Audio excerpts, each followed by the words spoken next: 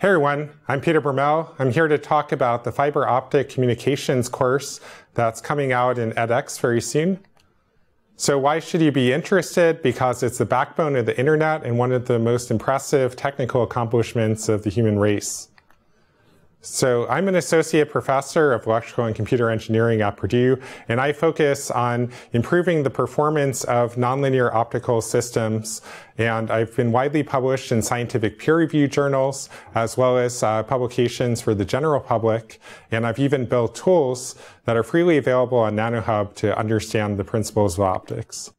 So what we learn in the course uh, there will be a refresher on the basic uh, components that go into fiber optic communication system, and then you'll learn how these components interact in order to form a useful system. And then the most unique part about the course will be an outlook for future research in uh, understanding the capabilities of fiber optics as they can be improved and even extended to new types of capabilities like quantum security. In terms of the course structure, there are five units. The first unit will talk about the basics of optical fibers, including nonlinearity, dispersion, and loss. The second unit will talk about the basic components on both ends of the fiber, the transmitters and receivers, including the sources such as lasers, modulation, and the speed of the modulation. And then in unit three, we'll talk about the fundamental concepts of the optical communication networks, which include input and output powers, noise, signal to noise ratios, and the speed of the overall system.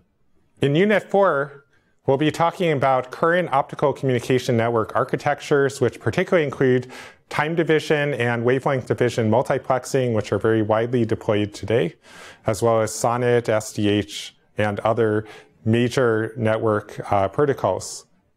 In Unit 5, the last unit we'll talk about future optical networks that are emerging, both in terms of improved capabilities of the existing networks, such as fiber to the home, as well as new capabilities, such as quantum key distribution, which creates security. So finally, who should take fiber optic communications? Uh, so first of all, if you're a student who wants to understand how the internet works and you're familiar with basic optics and differential equations, you should take this course. If you're a researcher and you're interested in understanding and developing new concepts for optical communications, you need this course so you can understand the foundations upon which you can build your research. Finally, if you are a working professional aiming to develop or sell products for communication networks, this course will provide the foundational understanding you'll need to enter the market successfully. Look forward to seeing you in the course.